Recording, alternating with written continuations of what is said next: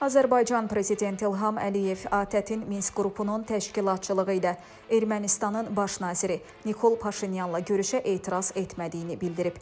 Azərbaycan prezidenti bəyan edib ki, müharibə bitib və bölgənin sabitliyə ehtiyacı var.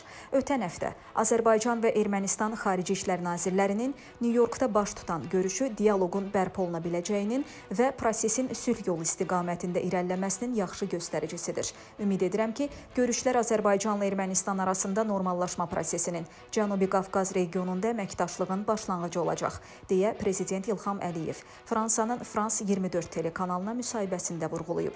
Azərbaycan Prezidenti yanvar ayında Moskvada Rusiya Prezidenti Vladimir Putinin təşəbbüsü ilə Azərbaycan, Rusiya və Ermənistan liderlərinin üç tərəfli görüşündə Ermənistanın baş naziri ilə görüşmək imkanı əldə etdiyini xatırladıb. Bu görüş post-konflikt sonrakı əməkdaşlığa həsr olunmuşdu. Pandemiya və digər səbəblərə görə görüşmək görüşmək imkanımız olmadı. Azərbaycan heç vaxt yüksək səviyyədə dialoqdan imtina etməyib. Bu əlaqələr sualları aydınlaşdırmağa imkan verir.